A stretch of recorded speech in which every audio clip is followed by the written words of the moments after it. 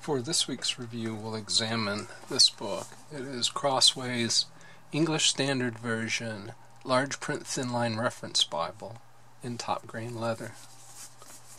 The book is 9 and 5 eighths inches tall, 6.5 inches wide, and 1 and a quarter inch thick. Here's the box. The title on it, picture of the Bible. Here is the ISBN 13 and the ISBN 10 and the back with information about it. It says that it's a readable 10.5 point type. We'll take a look at the size in more detail. The cross references are located at the bottom corner, the bottom right hand corner of each page. So you can stop that and read it if you'd like. For size comparison, I have here the um, New King James Version Thin Line, which I have in a hardback. Got last summer to decide if I wanted to buy the goat skin, and I decided against the goat skin because the book does not have all the translation notes that are in the normal New King James Version. But you can see that's roughly the same size, same layout. Another one that's comparable is uh, the Lockman Foundation's uh, New American Standard Bible. This is what they call their large print ultra thin. And it's a bit taller, I think, slightly. Slightly taller than the Crossway, maybe a sixteenth of an inch, and maybe a quarter of an inch wider, perhaps as much as three eighths of an inch wider. They're all, I think, aimed at the same market. Uh, thin lines sort of uh, layout for people to carry with them easily to put in a purse or a backpack. We talked about the book dimensions. Let's look at the format. It is uh, two columns of text with no center column references. As we mentioned, the references are down in the corner. And there is also a uh, comment section at the bottom of the page for uh, translation notes. Each, uh, each column, say in a prose area over here, the column is 65 millimeters wide and it has about 47 characters per line. I have counted as many as 50 characters per line. In a page without breaks, like these uh, headings and gaps here, you have 54 lines of text per page. The page dimensions are 233 millimeters, that's 9.17 inches tall, and 154 millimeters wide, 6.06 inches wide. The uh, characters are printed in what appears to me to be a very dark gray. It's not black. It may be that, that I get that impression because it's not quite as bold as I would like to see. But they don't appear to be really black to me. The uh, margins at the top of the page, from the top of capitals to the edge, is about 13 millimeters. From the bottom down to the edge is about 8 millimeters. The inner margin can be as much as 11 millimeters, but it's not that much there It's very, very small in the center of the book. And the outer dances around a bit. I measure between 7 and 10 millimeters. The uh, font here in the text is, as we saw, advertised to be 10.5 points. Uppercase characters are actually a bit smaller than a 10 point Times New Roman, but the lowercase characters are about 11.5 points Times New Roman. So it's one of those curious Bible fonts where capital letters are kind of small in proportion to the lowercase letters, at least when you look at a Times New Roman's proportions. Line height is uh, 3.9 millimeters and that equates to 11 points. And I think that matches for, with the impression that you get with your eyes looking at the text. The uh, font is actually fits in well with the line spacing. Line spacing looks somewhat generous. So it's certainly not a problem tracking your eye across the line of text. Verse numbers are here in the text. They are not in a different color or, or especially bold, but they are easy, not easy enough to find. Text is line matched, um, but the paper is somewhat um, transparent, so it's uh, it's very important that they line matched it. We'll talk a little bit more about the opacity of the paper here in just a second. We mentioned the references are in the lower right hand corner. The font size there is about six points. Down below the translation notes at the page bottom, that font is about seven and a half points. The paper is um, 35.7 micrometers thick. I estimate the paper weight at 32.7 GSM, so it's probably around 32. The uh, paper has a matte surface, there isn't a lot of reflectivity off it. There's some, a little bit of a sheen, but not much. It's white. It may have a slight grayish tinge to it. It's not quite as white as some other papers. There is a significant show through. You can read through this paper. It's not hard to find places where you can see all the way through to other pages. Um, you can read quite easily. The Old Testament there, uh, here. You can see Genesis quite easily through the paper. So that does constitute something of a problem. It's really not as opaque as I would like. There's some print non-uniformity. It's not really dramatic, but it certainly is noticeable. So I will show you page 1120, which isn't printed very darkly, and 1152, which is printed a bit darker than that, side by side. That will give you a sense for it. 1152 is back here in the book of Revelation. So if we look at them side by side, can see that the page on the left is a little lighter than the page on the right. Not dramatically so, but noticeably so. There are no book introductions, no separate book introductions. The book titles, as you see here, are in the outside corners along with information about the contents of the page. So on this page, the last verse that begins on the page is 4 3. On this page, the first full verse on this page is 2 2. Um, page numbers are center top of the pages. Uh, headings are in the text in an italic font around the same size as the um, the font in the, in the text itself. The chapter numbers are in a large bold number as so. Books of the Bible do all begin on a separate page. So here's the small book of Jude, it's on its own page. Second John is on its own page. Uh, first, third John is. Uh, all these small books all begin on their own pages. The words of Christ, I'm happy to report, are in black. I know some people like red, but I really prefer black. The red tends to hurt me, uh, causes physical pain to my eyes when I try to read it, causes a lot of eye strain.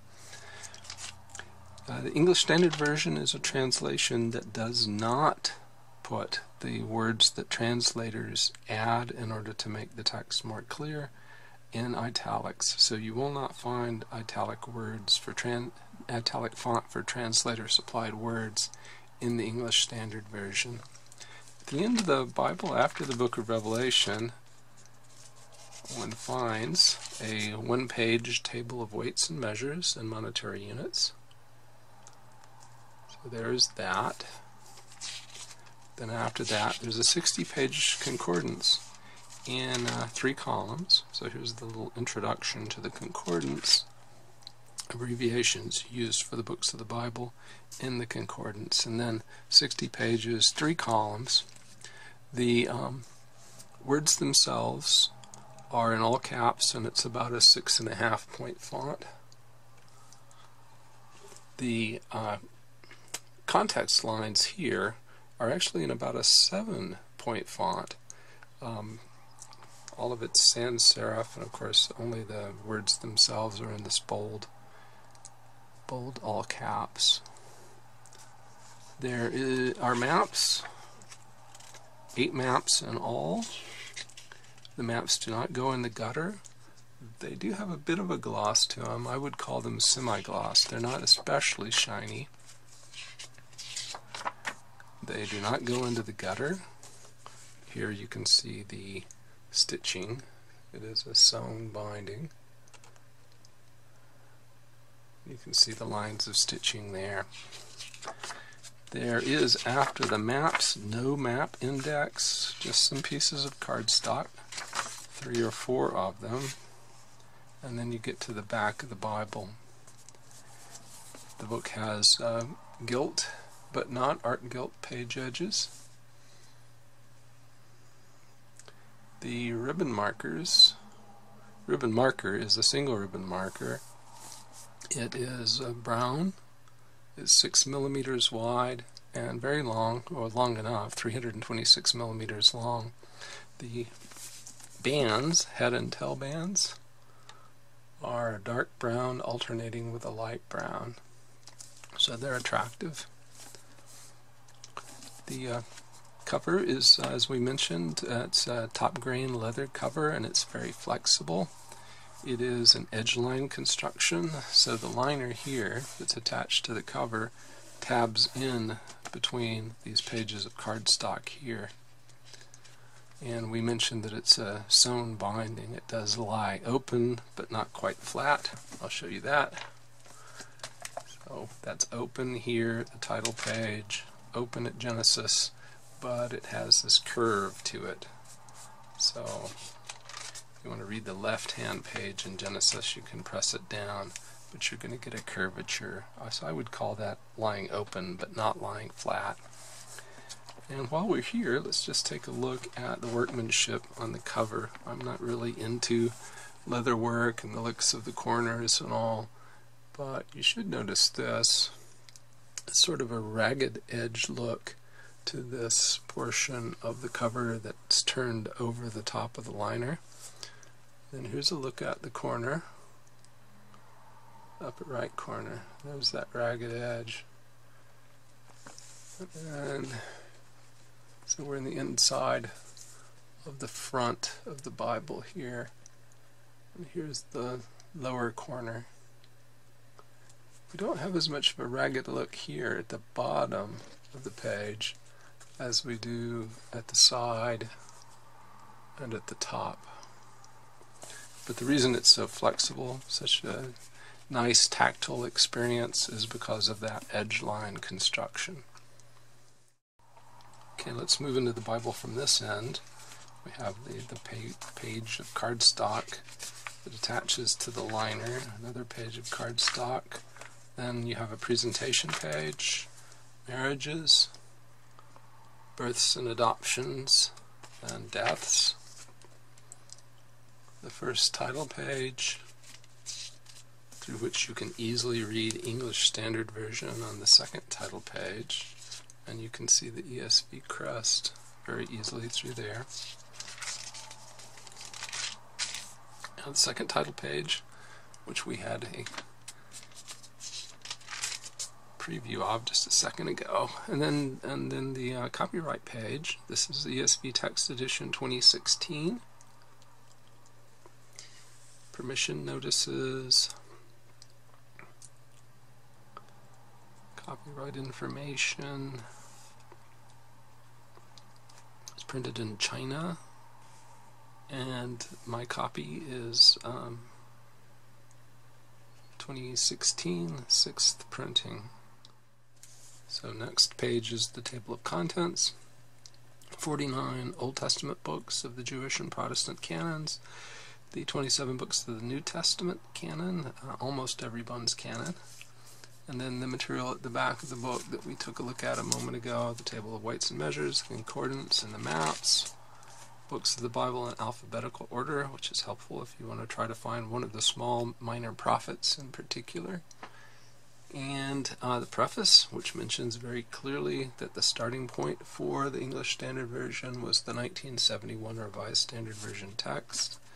It talks about their essentially uh, literal translation philosophy, and it also mentions that it's based on the Masoretic Hebrew text found in the Biblia Hebraica Stuttgartensia, 1997, and the Greek text in the 2014 editions of uh, UBS 5 and NA 28, the United Bible Society's 5th edition. Excuse me, the Nestle Aland uh, 28th edition. Although they do sometimes uh, not follow those, the translators uh, retain the liberty to make their own textual choices, and some so sometimes they do uh, stray from the printed editions explanation of features, several pages of that. They talk about the cross references and the textual footnotes, and then one is at the Old Testament, and we've already shown the show through here. So I just wanted to show the font up close so we can see characters themselves, uh, the tracking, it does get close in places, but it's generally not bad. These words here seem to be pressed together quite closely. But my my overall uh, uh, my overall impression is that it's not very bad at all. I like the tracking. I like the line spacing as well. It's quite nice. Uh, it does not seem to be printed as darkly as it could be. And there is this um, show through issue, which is very clear, where you see poetry printed, where you can see the previous page, and in fact you can see the page behind the printing on the other side. Now here's, uh, for comparison, this is the New American Standard large print ultra thin. So it's on the right. It seems to be printed a bit more darkly.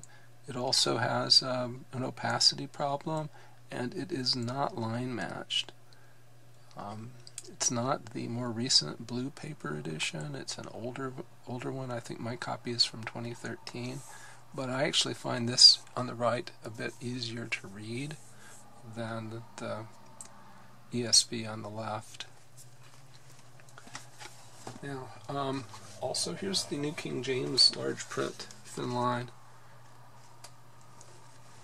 coming in on the right, roughly at the same place in the Bible and its paper is more opaque, I think. It's also line matched like the ESV, and then it's printed in a smaller font. This is the Comfort Print edition, which is smaller, but it's darker. And I actually think it's a more pleasant reading experience than the ESV. Now I want to show you the, uh, the print on several different pages so you can get a sense for how prevalent this um, show through issue is. So here we're looking in First Kings, and um, you can definitely see characters in between the characters on the previous uh, page. This H here and then, it doesn't appear to be well formed, but it's only because there's darkness, there's cloudiness behind it. Um, the characters themselves, you can see how they're shaped, but there are distortions to them because of darkness on the other side. Definitely see printing from the other side of the page here. What I do in order to read a book like this is I slip a piece of black construction paper behind the page and if you're like me that makes a world of difference. It really helps quite a lot. Alright, that's one example. We'll flip forward. This uh, is in the book of Job.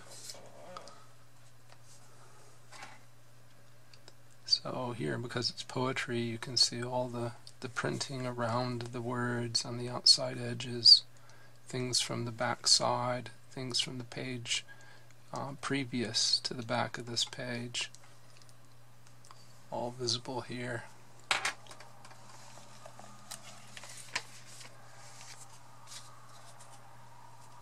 We are in Proverbs, same kind of issue.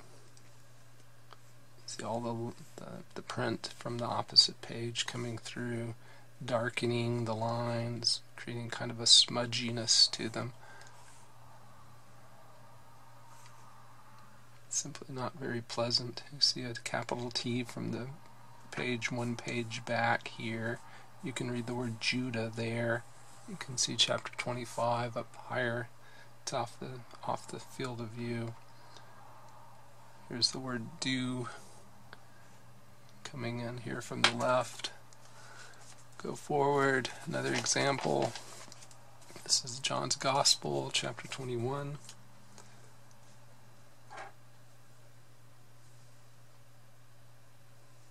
Same sort of thing going on.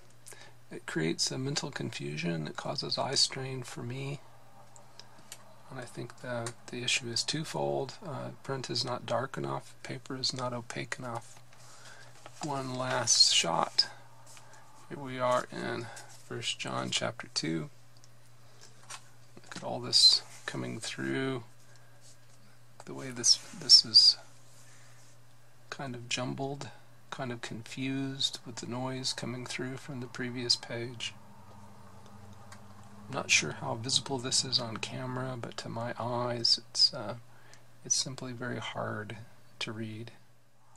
So let's talk a bit about pros and cons. Uh, first, the English Standard Version is a very good translation. It's somewhat literal.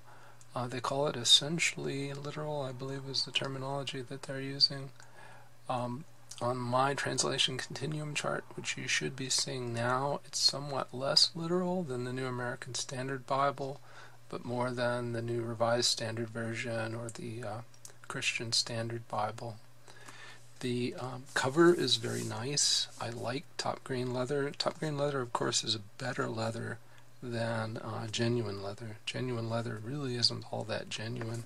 My copy, you can see here a scar this is uh, the actual hide of the animal. This is the outer tough portion of the leather. So it's much better than the genuine leather and much, much better than a bonded leather. The construction is quite nice and because it creates this flexible cover and it does lie almost flat.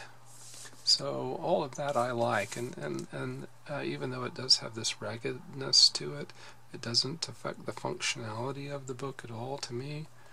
Um, I don't mind that one bit. What what I do have trouble with with this book is um, the opacity of the paper and the darkness of the print. I think if the print were just a bit darker or bolder and the paper were thicker. I know people like thin line Bibles. Um, they like to be able to carry them around and have them portable. But if this book were half an inch thicker, I don't think it would be so much harder to store and it wouldn't be that much tougher to carry around with you and certainly the paper would be much much more opaque than it is here where you can read chapter 42 through the page. Uh, if that doesn't bother you that's not an issue but it does bother me. So, um, all in all, um, I really cannot recommend this particular edition.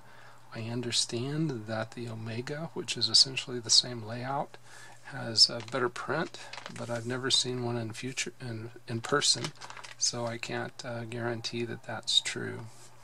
Well, I'm sorry to have a somewhat negative uh, video review. I know people will criticize uh, my criticism of Bibles, but the reason I do it is uh, to give you information about these books so that you don't waste your money. I mean, you might disagree with me and you might like the way this looks and you might like red letters and you might like glossy paper.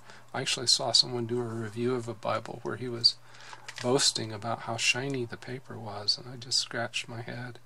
But we're all physiologically different. We like different things. I want to tell you as much as, as I can about the book so you can make an informed decision about whether it's what you want or not.